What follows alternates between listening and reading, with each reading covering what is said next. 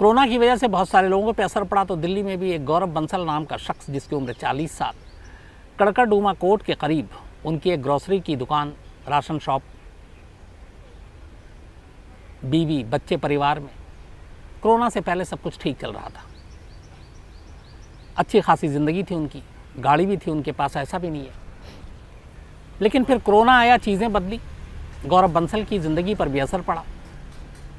Business ठप हो गया। दुकान में राशन और सामान लेने के लिए उन्होंने कुछ उधार ले रखा था। अब सामने से आमदनी है नहीं, चुकाएँ कैसे?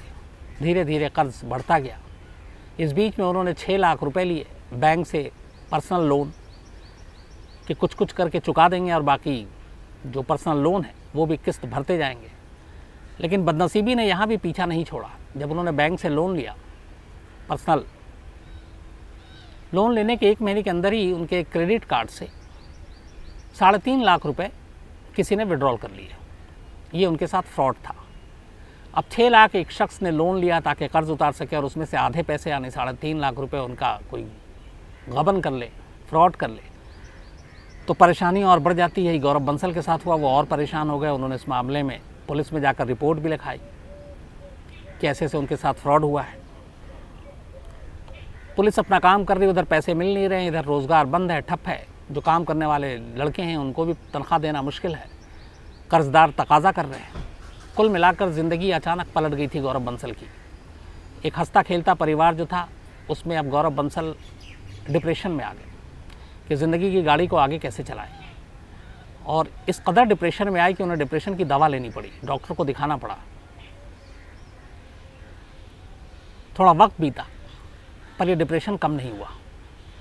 इधर गौरव बंसल ने एक बीमा भी करा रखा था इंश्योरेंस करीब एक करोड़ रुपए का। इतना ज़्यादा उनके ऊपर तनाव आया कि गौरव बंसल को लगा कि कर्जदारों के तकाजे से बार बार बड़ा असर पड़ रहा है। उससे अच्छा है कि ज़िंदगी से ही छुटकारा पाले गौरव बंसल ने खुदकुशी करने की कोशिश भी की, लेकिन फिर उसे अचानक उन्हें ख्याल आया कि मैं तो मर जाऊँगा, मेरे परिवार का क्या होगा? कर्ज का बोझ अब उनके सर पे चला जाएगा मुझसे हटकर। और वो कहाँ से चुकाएँगे? उनकी पत्नी कहाँ से चुकाएँगी? बच्चे छोटे हैं, कहाँ से चुकाएँगे? ये चीज़ें जब ख्याल में आई तो फिर गौरव बंसल ने कहा कि खुदकुशी करना कोई फ़ायदा नहीं है, बल्कि एक और परिवार को डबल सदमा हो जाएगा। एक तो वो खुद कमाने वाला चला गया, दूसरा कर्ज अपने बीवी और बच्चों पे छोड़ गया। तो उन्होंने खुदकुशी का आइडिया ड्रॉप कर दिया। लेकिन परेशानी इतनी थी और शायद उन परेशानियों का सामना करने की हिम्मत दिन ब दिन कम होती जा रही थी। गौरव बंसल ने कहा कि अब क्या करें?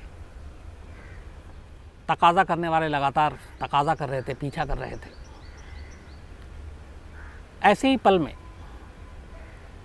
गौरव बंसल ने एक हल निकाला, जो किसी भी कीमत पे मैं जायज़ नहीं ठहरा सकता, बल्कि जितने भी मेरे क्राइम तक के फैमिली के मेंबर इस वक्त सुन रहे हैं। मैं पहले भी कहा हूँ, आज भी कहता हूँ, ज़िंदगी में जद्दोजहद, ज़िंदगी इम्तिहान का नाम है, अच्छे और बुरे दिन दोनों आते हैं। और ये एक वक्त है जो गुजर जाता है, लेकिन ज़िंदगी अनमोल है। और उस ज़िंदगी को हम अगर किसी को दे नहीं सकते तो हमें उसको छीनने का भी हक नहीं है। तो कभी ऐसी चीज़ें नहीं करनी चाहिए। लेकिन गौरव बंसल की परेशानी ये थी कि वो बेहद परेशान और इस तनाव और दबाव को वो झेल नहीं पाए। खुदकुशी करते तो परिवार वालों पर डबल वो आ जाता और दूसरा उनको ये भी मालूम था, पढ़े लिखे थे कि अगर मैं सुसाइड करता हूँ तो मुझे इंश्योरेंस के पैसे नहीं मिलेंगे मेरे परिवार को। और परिवार को पैसे की ज़रूर, ज़रूरत थी। उन्हें लगता था उनकी मौत के बाद इंश्योरेंस के जो पैसे मिलेंगे, उससे शायद कर्जदारों के कर्ज उतार दिए जाएँगे। बहुत सोचने के बाद गौरव बंसल ने इन सारी चीज़ों से निजात पाने के लिए एक तरीका सूझा। और तरीका ये था अपने ही जान लेने का, लेकिन अपने हाथों से नहीं, किसी और के हाथों से। खुद से जान लेना मतलब खुदकुशी, किसी और के हाथों से जान लेना मतलब कत्ल। और कत्ल के ज़रिए गौरव बंसल को लगता था कि बहुत सारी चीज़ों के मसले हल हो जाएँगे। इसके बाद प्लानिंग शुरू होती है। गौरव बंसल की जहाँ पे दुकान थी, वहाँ पे कुछ और लोग थे, कड़कड़ूमा के पास। और उन्हीं में एक लड़का टेलर था और एक नाबालिग लड़का था, जिसकी उम्र करीब 16 साल थी। जान पहचान थी, गौरव बंसल बातचीत करते थे। एक दिन उस नाबालिग लड़के से गौरव बंसल ने अपने मन की बात कही। कहा कि मेरे परिवार पे तुम एक एहसान कर दो। उस नाबालिग को समझ में नहीं आया कि क्या बोल रहे हैं। उसने कहा, कैसे? उसने कहा, मैं पैसे दूँगा, तुम ऐसे लोगों को ढूंढो जो मेरा कत्ल कर दे। अब ये बात सुनकर कोई भी, चाहे वो क्रिमिनल भी हो, थोड़ा सा चौंकेगा इसलिए कि सुपारी लेकर कत्ल करना और बाकी चीज़ों की एक वजह होती है और आमतौर पर सुपारी दूसरों के लिए दी जाती है। या एक शख्स है जो कह रहा है कि मैं पैसे दूँगा मेरा कत्ल करा दो, मेरी जान ले लो, मेरे परिवार पे एहसान होगा और बाकायदा पैसे भी दे रहा है। उस नाबालिग को कुछ समझ में नहीं आया, फिर भी उसने कहा, ठीक है, जब कई दौर की बात हुई, फिर उसने अपने तीन साथियों को चुना और ये तीनों बालिग थे। एक सूरज, ये भी जस्ट बालिगी हुआ ही था 18 साल उम्र, और ये एक स्टूडेंट था। दूसरा एक मनोज, जिसकी उम्र इक्कीस साल थी और तीसरा एक सब्ज़ी बेचने वाला रेढ़ी पर, सुमित 26 साल। ये तीनों ही गरीब थे और वो जो लड़का नाबालिग था, वो भी गरीब था। गौरव बंसल ने बात की कि हमारा कत्ल कर दो, परिवार पर एहसान होगा। और इससे मेरे बीमे का पैसा मेरे परिवार वालों को मिल जाएगा, जिससे वो कर्ज उतार देंगे। नाबालिग ने अपने तीन दोस्तों से बात की, तीनों तैयार हो गए। इसके बाद पहला प्लान खुद बताया गौरव बंसल ने कि मुझे गोली मार देना। अब ये लोग देसी कट्टा ख़रीदने के लिए गए। एक जो इलीगल तौर पे बेचते हैं, उसके पास पहुँचा ये नाबालिग, उसने कहा, कट्टा ख़रीदना है। लेकिन दुकानदार ने उसकी उम्र और उसको देखते हुए कि बच्चा है, फंसने का भी डर है, उसने उसको रिवॉल्वर या कट्टा देने से मना कर दिया। वो चला आया, अब दूसरे आइडिया सोचने लगे, गौरव बंसल को पता चला रिवॉल्वर मिल नहीं रहा और किसी के पास है नहीं, गोली कैसे मारी जाए? दिन बीतता जा रहा है डिप्रेशन का शिकार। फिर गौरव बंसल ने कहा कि एक काम करो, गोली मत मारो। तुम मुझे गला घोंट कर मार दो और रस्सी से मेरा गला घोंट दो। उस नाबालिग ने अपने तीन साथियों से बात की, बताया कि वो इस तरह से कह रहे हैं। वो तीनों तैयार हो गए। अब इसके बाद आखिरी काम बाकी था। दिन चुना गया 10 जून 2020 जिस दिन गौरव बंसल को मरना था। और मारना था चार लोगों को। ये पहला ऐसा शायद मामला है, जिसमें गौरव बंसल ने अपने कत्ल के लिए खुद पहले रस्सी खरीदी। रस्सी खरीद कर वो अपने पास रखा उसने। इसके बाद उस नाबालिग के थ्रू ही वो सारे लोगों से बात करता था।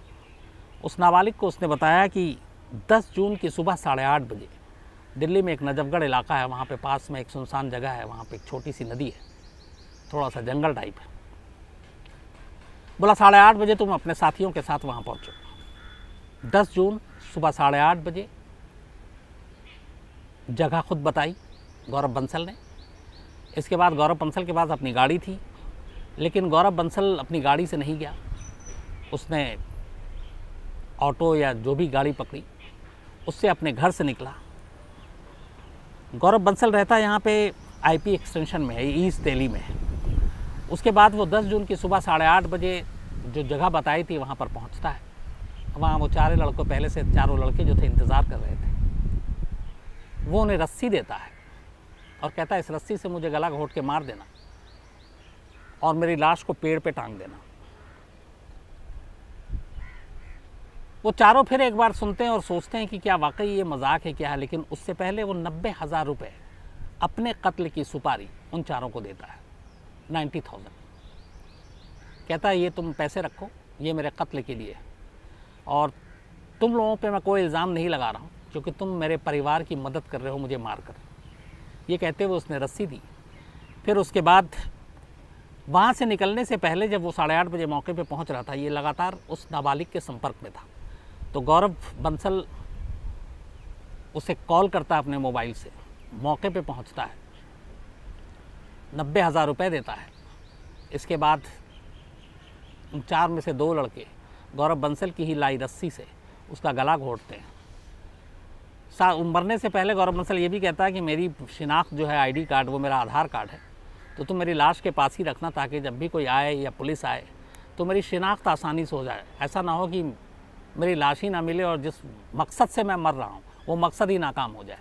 तो मेरी लाश की आइडेंटिटी ज़रूर होनी चाहिए और इसीलिए वो बाकायदा अपने साथ अपना आईडी लेकर आया था, आधार कार्ड। आईडी को उसने अपने पास रखा। उसके बाद कहा था, जहाँ पे मेरी लाश को तुम पेड़ पे टांगोगे, वहीं नीचे आईडी रख देना। दो लड़कों ने गला घोटा। गौरव बंसल